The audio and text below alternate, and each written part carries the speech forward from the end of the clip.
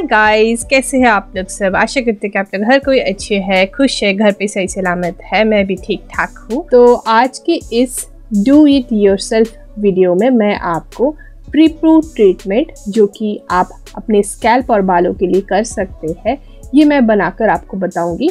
Video देखने के पहले आप मेरे चैनल को सब्सक्राइब कर दें एंड उसके साथ से जो बेल बटन है उसे भी आप क्लिक कर दें ताकि मेरे चैनल की हर एक नोटिफिकेशन आपको सबसे पहले मिले। And this is absolutely free ठीक है? तो चलिए देख लेते हैं कि इसे बनाने के लिए हमें क्या क्या चाहिए।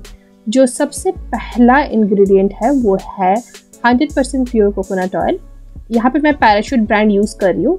मैं आपको पैराशूट ब्रांड रिकमेंड नहीं करूँगी। मैं आपको यही सजेस्ट करूँगी कि आप कोई भी वर्जिन कोकोनट ऑयल यूज़ करें और जो कि ऑर्गेनिक हो। तो मैं यहाँ पे क्यों यूज़ कर रही हूँ? क्योंकि उस वक्त लॉकडाउन था और अंडमान में मुझे कहीं पे भी प्योर कोकोनट ऑयल नहीं मिला।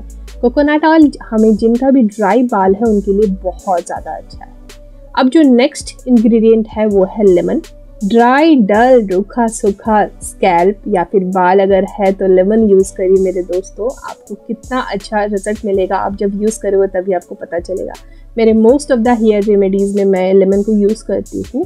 एंड ये हर वक्त स्टैंड आउट होता है।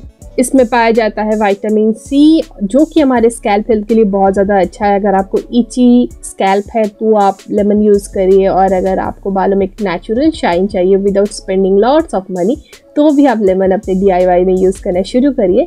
तो यही दो इंग्रेडिएंट हमें चाहिए। तो चलिए अब देख लेते हैं कि इस प्री पू यानी प्री शैम्पू ट्रीटमेंट को हम कैसे बनाएँगे। आपने नोटिस किया होगा, कुछ दिनों से मैं जो भी सारे डी दिखा रही हूँ, वो मैं बेसिकली जो सारे लोग हॉस्टल या फिर पीजी में रहते हैं, उनको माइंड पे रखते हुए मैं बनाती थी। तो ये वाला भी रेमेडी उनके लिए है बहुत ही ज़्यादा ईजी है बनाना। कटोरी पे आपको तीन चम्मच मैंने यहाँ पे कोकोनट ऑयल लिया है। अगर आपका बालों का लेंथ शॉर्ट है तो कम लीजिए। According to your scalp and hair type आप ले सकते हो coconut oil three tablespoon मेरे लिए परफेक्ट होता है। उसके बाद आपको डालना है इसमें लेमन तो तीन चम्मच के लिए आपको दो चम्मच लेमन का जूस लेना है। यही रेशियो है थ्री इज़ टू टू आपके हेयर टाइप में आपको जितना कोकोनट ऑयल चाहिए होगा, उसके अकॉर्डिंगली आप इस पर लेमन डाल दें। उसके बाद आप इसको मिला दें। आप देखोगे कि धीरे धीरे जो इसका कंसिस्टेंसी है थोड़ा सा थिक होते हुए आया है। अगर आपने जूसी केमिस्ट्री का हेयर मास्क ट्राई किया है तो थोड़ा बहुत उसका जैसा ही है, लेकिन ये थोड़ा सा और रनी है। उसके बाद हमें इसको एलर्जी टेस्ट करना है। इस मोमेंट में आप एलर्जी टेस्ट कर लेना। अगर आपको कोई भी एलर्जी है तो आप प्लीज़ आगे ना बढ़े। और अगर आप एलर्जी टेस्ट में इसमें नेगेटिव आते हो मतलब अगर आपको कोई भी एलर्जी इरिटेशन बर्निंग सेंसेशन अगर कुछ भी ऐसा डिस्कम्फर्ट ना फील करता हो तो आप ये वाला ईयर मास्क लगाइए।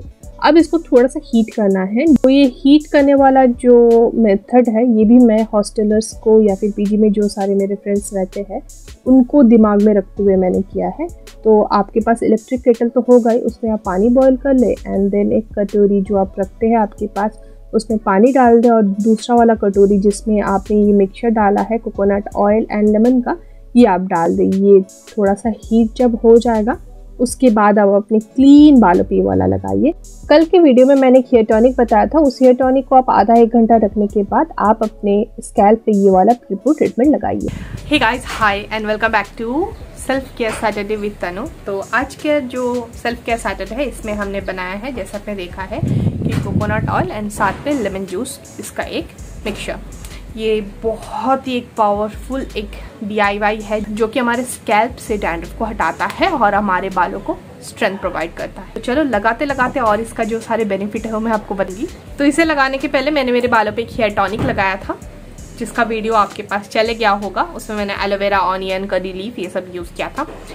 अब मैं ये वाला मिक्सचर लगाने वाली हूँ। इसको डिफरेंट डिफरेंट वे से आप लोग यूज़ कर सकते हो। As a deep conditioning treatment भी आप इसको यूज़ कर सकते हो। आज मैं as a deep condition treatment he use कर रही हूँ, लेकिन अगर आपको ये चीज़ कैल्प है डैंड्रफ है, तभी भी आप यूज़ कर सकते हो। जस्ट यूज़ करने के पहले एलर्जी टेस्ट कर लेना। किसी किसी लोगों को लेमन से बहुत ज़्यादा एलर्जिक होते हैं वो सारे लोग, और कोकोनट ऑयल से भी बहुत सारे लोग होते हैं। तो वो सारे लोग स्किप करें टोटली मत देखें। और अगर आप लोग को फिर भी कुछ ट्राई करना है तो आपका जो ऑयल सूट होता है वो लीजिए, उसमें हनी डालिए और उस मिक्सचर को आप लगाइए। ये वीडियो देखते देखते ठीक है?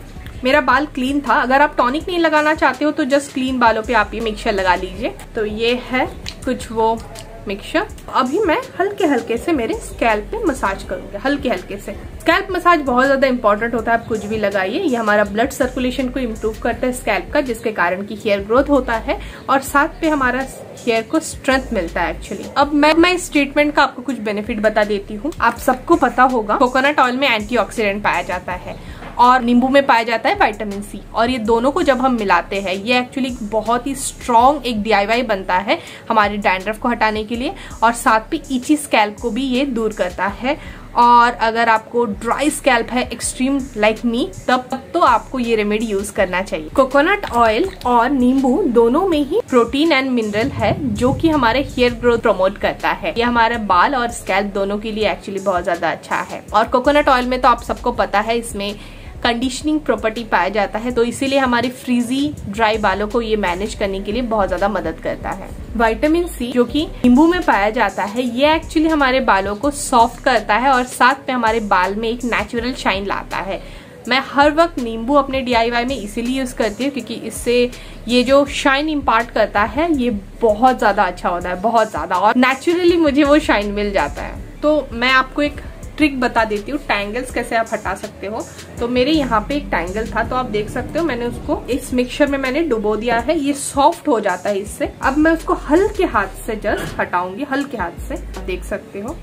तो इससे ना हेयर ब्रेकेज काफ़ी कम होता है। ये जो मिक्सचर है, ये हमारे जिनको भी हेयर थिनिंग का प्रॉब्लम है, उसके लिए बहुत ज़्यादा अच्छा है। बहुत सारे लोगों को हो जाता है ना, बाल इतना ज़्यादा पतला हो जाता है। तो देखो, ये बहुत ही आराम से निकल गया है ये टैंगल इसको आप एज ए प्रीपू ट्रीटमेंट भी यूज़ कर सकते हो अपने बालों के लिए। तो स्कैल्प में जैसे आप लगा लोगे, उसके बाद आप पूरे बालों पे ये वाला जो मिक्सचर है, इसे आप लगा दे। और कहीं पे भी अगर टैंगल्स हो जाए तो हल्के हाथ से उसे आप हटाइए। यहाँ पे मैं फिंगर कोम कर रही हूँ, यानी अपने हाथों से ही मैं हल्के हाथ से सारे जो टैंगल्स है, इसे मैं हटा रही हूँ। मैंने मेरे पूरे बालों पे ये लेमन और कोकोनट ऑयल का जो मिक्सचर है, इसे मैंने लगा दिया है। इसे मैं अप्रोक्स छोड़ूँगी थर्टी मिनट्स उसके बाद मैं नॉर्मल जो मैं मेरे बालों पे स्टाइलर लगाती हूँ, वो मैं लगाऊँगी और उसके बाद मैं मिलूँगी।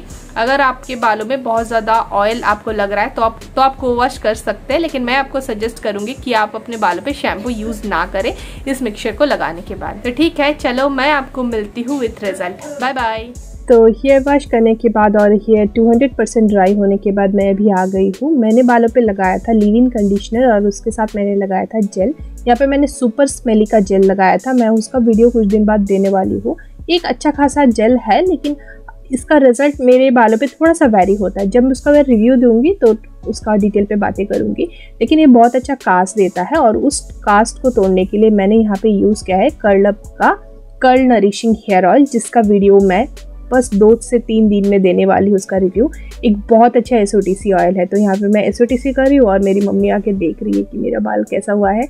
And she was really impressed बहुत अच्छा रिज़ल्ट आया था, आप देख सकते हो रिंगलेट्स काफ़ी डिफाइंड हुआ था और मेरे बालों पे एक बहुत अच्छा शाइन आया था। मैं जब भी लेमन लगाती हूँ ना, मेरे बालों पे, मेरे बालों पे बहुत अच्छा शाइन होता है। अगर आपके स्कैल्प पे लेमन सूट करता है तो आप लेमन यूज़ करिए और अगर नहीं होता है तो प्लीज़ ना करें। जिनका सूट होता है, उनको ये वाला एक बार ट्राई करके देखना चाहिए अकॉर्डिंग टू मी। आशा करती हूँ कि मेरा ये वाला वीडियो आपको अच्छा लगा होगा। अरे, यहाँ पे मेरी मम्मी क्या कर रही है? अच्छा मदन लीलम अगर वीडियो अच्छा लगा है तो इस वीडियो को एक लाइक कर दे वीडियो को शेयर भी करें और हाँ मेरे चैनल को सब्सक्राइब करना ना भूले। मिलते मेरे नेक्स्ट वीडियो पे विद न्यू टॉपिक दिन खुश रहे, घर पे रहिए सुरक्षित रहे bye bye take care bye bye